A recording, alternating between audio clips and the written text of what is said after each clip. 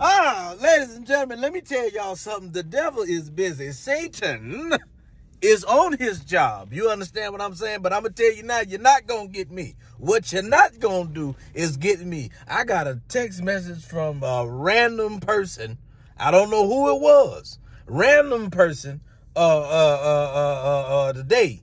It said, hey, sorry I didn't hit you back. First of all, I didn't call you. That's the first thing. Sorry I didn't hit you back. But, uh, it was it was uh I, it was later so whatever she said the last night was fun i ended up looking like this and she gonna send me a picture with a with with with with some little see-through look like some negligee type of situation she got going on and i said hey i texted back and said hey you got the wrong number you understand and she said oh my goodness i i must have text the wrong person uh anyway whatever are you looking for a good time tonight i had to reply I said, uh, uh, you can see right there the text message, I said, uh, me and my wife going to Bible study and you invited if you want to come.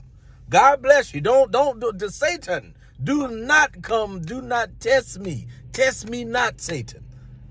I ain't, I, I don't want it. I don't, I don't want it. You just random people coming off the, how you acting like you text me by accident. Nah, uh-uh. See, that's how they set you up. The, y'all not gonna get me. I don't know if she worked for the government, the CIA, AAAS, NAACP. I don't know who these people work for. It might work for GMC. But what you're not gonna do is get me. I don't want to be a part of none of them shenanigans. I don't know you, lady.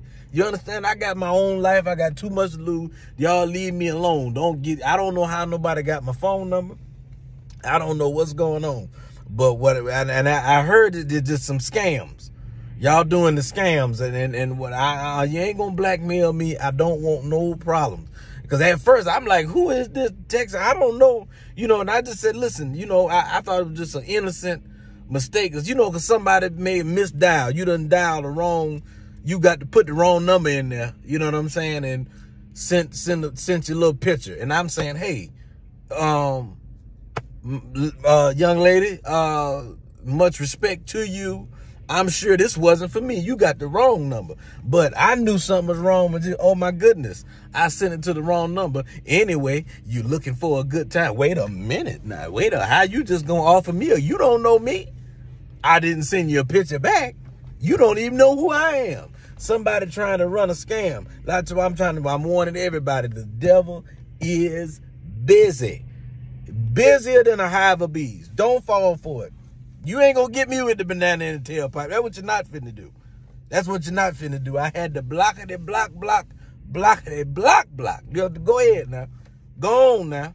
How you gonna say? How you gonna say? Oh my goodness, I sent this picture to the wrong person, and then turn around. Oh well, you looking for a good time? How you, lady?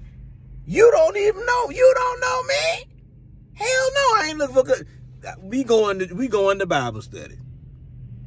There's it ain't no better time than a time with the Lord, and you welcome to come. You ain't even got to change clothes. You can show up to church butt naked just like that. Do we'll put you in a choir robe. Amen.